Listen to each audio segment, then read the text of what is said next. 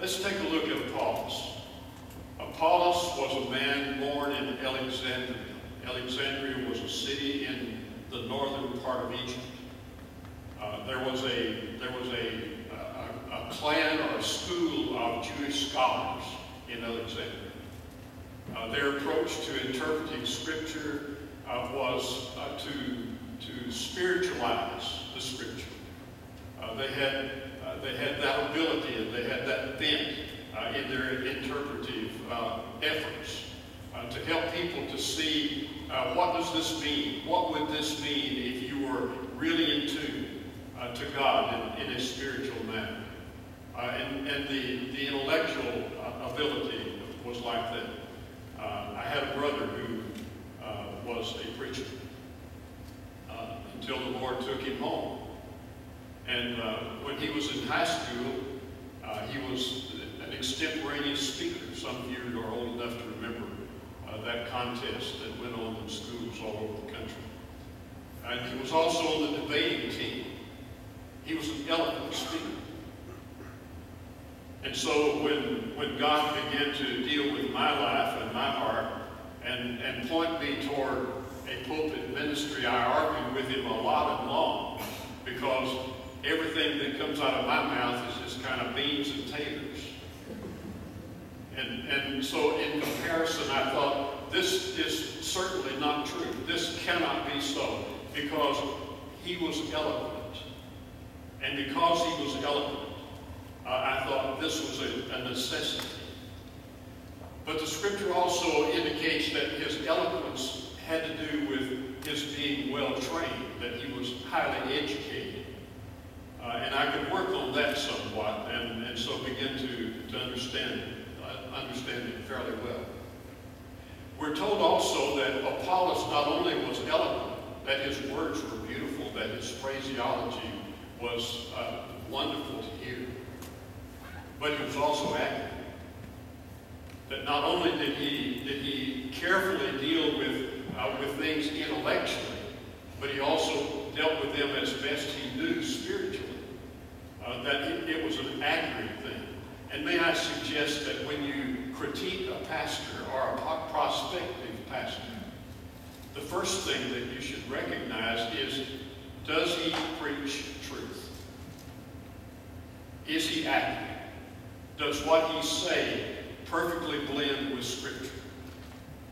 And if we, if we use that critique at first, that standard at first, I think it will save us from a lot of heartbreak. There's so many people today in, uh, in varied, with varied opinions doctrinally. And it's very easy for people to well, this is not quite as important as that, and so we'll just compromise and, and we'll get along a little easier, and it'll be more, more convenient for us uh, in, in our approach. But Apollos was very eloquent, very skilled, very schooled, very educated, and, and yet he was very uh, accurate. It occurred to me that beautiful phrases are no substitute for doctrinal purity. And so we may be caught up with somebody who speaks well and beautifully and says it so well, so, so, so alluring, that we lose sight of the fact that they may be teaching us something that is not biblical. And we need to be aware of that, don't you believe? Amen. Eloquent, but accurate. We need someone who speaks truth in cultured language. I don't believe that it's necessary for a preacher to, language-wise, get down into the gutter to communicate with people. I don't think it's necessary for a person to, uh, to be less than, uh, than accurate speech-wise and use what's uh, at least acceptably uh, good language or good English. Uh, we're looking at mission opportunities for our state. And we have over a hundred languages uh, in our Southern Baptist churches in California.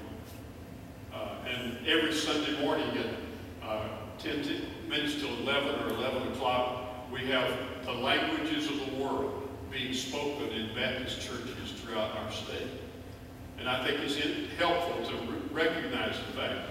Uh, and and there, there are those who are very eloquent in, uh, in using their language and, and expressing it in that way. I think that we need to look for a pastor who speaks the truth with culture and language. If we speak English, we need to speak acceptable English. Uh, my mother was a high school graduate. That's as far as she was able to go. And yet she spoke beautiful English. Now she had a few peculiarities in the letters that she wrote to us later. She would spell at all, A-T-O-L, at all. And some things of that sort that were colloquial, but, but her, her language was, uh, was acceptable all the way through. So I, I really think that that's important. There was another characteristic that we looked for and that Apollos apparently possessed. He was cultured, but he was ardent. Ardent means that he had deep conviction. He had education, but the education was not on display. It was his deep understanding of God's purpose and God's will that he spoke with great conviction. And he was, he was uh, consistent with that conviction as he communicated with people. And we could say many things about, about that, but I want to get on to number three. He was steady, meaning that he had reached some conclusions that were correct and right and scriptural. But he was also studious. I'm always skeptical of a Christian who cannot learn anymore. I'm very skeptical of a preacher or a pastor who thinks he knows everything. You know what the combination would be for uh, a skunk and an encyclopedia, don't you? It's somebody who's a stinking know-it-all. And sometimes we have we have those kinds of guys who capture a pulpit and, and allure people along, uh, and, and they, they, they never learn anything more. Apollos was one of those guys who was convinced, had learned from John the Baptist, Uh, and, and for his teaching that was the Messiah is coming, and I'm the forerunner, I'm the, the road builder for the Messiah. And he had all that in his heart and in, in his mind, and had submitted undoubtedly to the baptism of John. And he eloquently introduced this person without name who was coming, who was the Messiah of the Jew, and also the Savior of the world. And he, he knew that, and he understood that, but he had not had all the information that was then available. So when he preached, he preached eloquently and powerfully and convincingly. But he had a couple of lay people in the congregation. And listen to this, this is really important.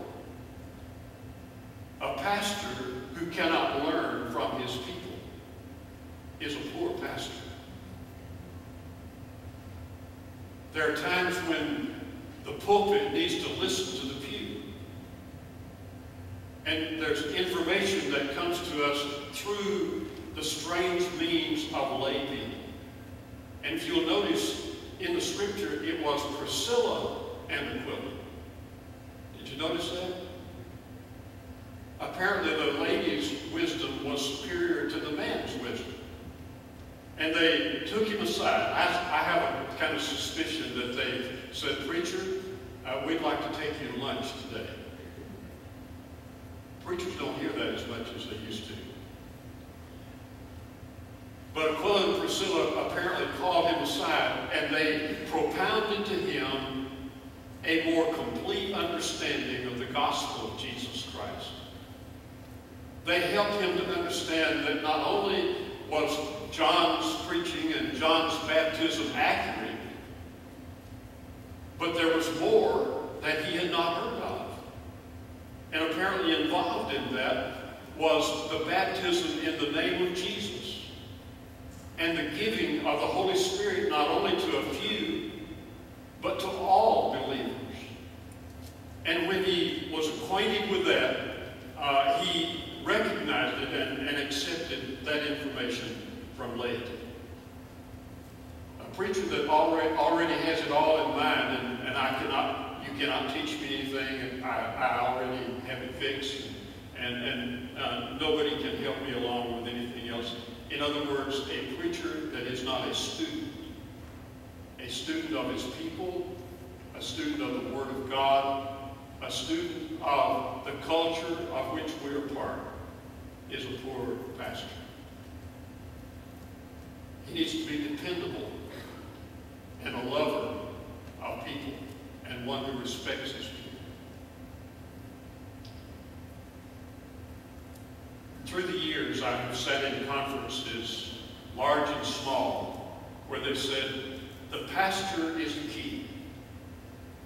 As if to say, unless the pastor thinks of it, it's not a worthy thought. Back to my original comment, if you please. Most people look at a church and they say, it's the one who's up front that counts. Now, I realize the pastor has his role. But what makes a quality church is what's out front that counts. You are the church. We together are the church. That it is not just one person or one spokesman uh, that carries the ball. It's all of us together as we cooperate together and as we love and learn from each other. Pastor should be dependable and a lover of his people. Some churches have adopted the simple slogan, love God and love the folks.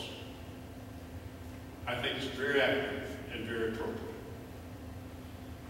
A pastor should be willing to listen and to learn even from lay people, and if you would, would notice, even from a lady. And you realize that a Jewish man is a very proud person, generally.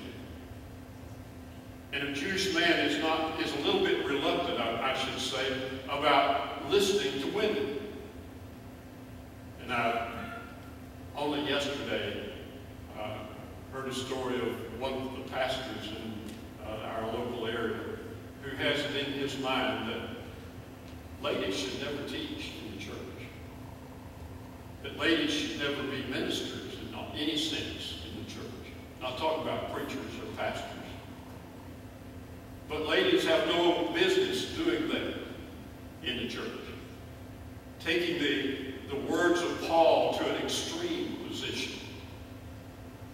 But I guess I've been through some experiences that taught me that unless the ladies of the congregation are faithful and, and uh, dependable and spiritual and cultured by the Word of God, that the church doesn't have very much going for it. I've been there and seen that. And I, I, think that we need to recognize that. And, and Apollos was the kind of pastor, kind of preacher, who was willing to listen even to a lady uh, as she instructed him more accurately what the gospel of Jesus Christ was all about. Apollos illustrated that a pastor needs to be humble and yet courageous. Humility does not mean that he becomes a format to everything that comes along and everybody that comes along. But humility means quiet strength and operating by conviction based on Scripture. Humble, but courageous. And number four, I suggest to you, is that Apollos demonstrated a, a great ability as an evangelist. You remember that Paul the Apostle recommended to young Timothy that he do the work of an evangelist.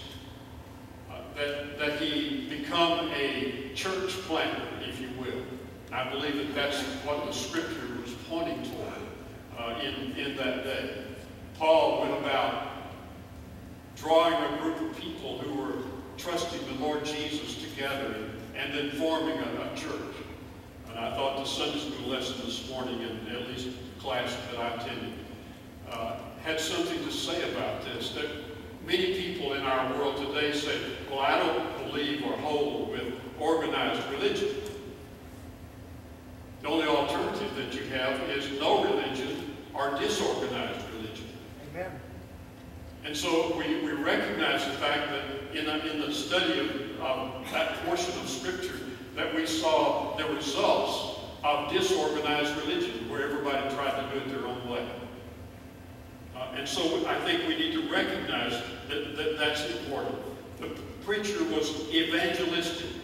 He powerfully used the Scripture to convince people that Jesus is the Christ. He drew people toward the focal point.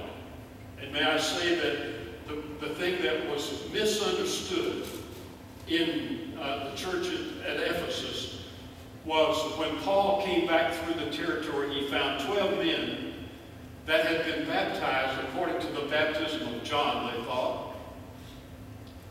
And he said, Did you receive the Spirit of God? Did you receive the Holy Spirit in your life when you were baptized? And they said, Well, we didn't even know there was a Holy Spirit.